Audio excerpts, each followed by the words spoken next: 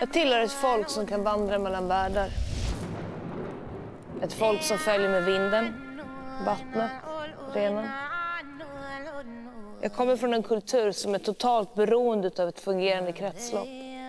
Men där vårt sätt att leva i samspel med skogen och fjällen inte har någon plats i dagens samhälle. I århundraden så har vi samer utsatts för övergrepp av den svenska staten.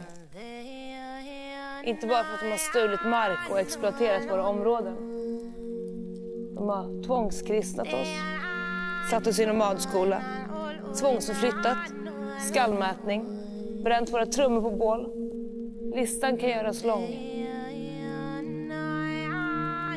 Jag brukar säga att övergreppen idag är detsamma som för 400 år sedan.